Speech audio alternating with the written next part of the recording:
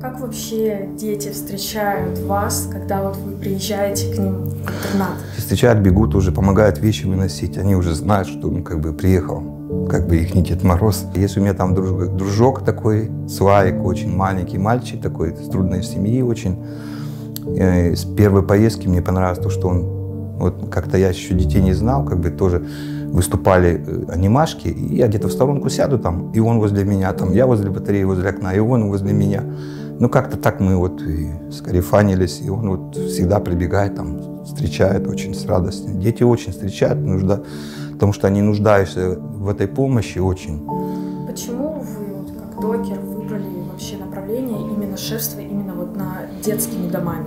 Ну, вообще, не знаю, я сам детство прожил такое нелегкое, как бы говорится. Когда в детском доме ты побываешь, сразу понимаешь, что как бы дети нуждаются в помощи. И видно, меня где-то там внутри сыграло это, я сам последнюю рубашку отдам, ну, помогу. Андрей Александрович, расскажите, какой э, вклад в МТП сделал в этот э, детский дом? Благодаря э, ВНТП э, мы благоустроили три спальни. То есть э, это три спальни, три спальни мальчиков.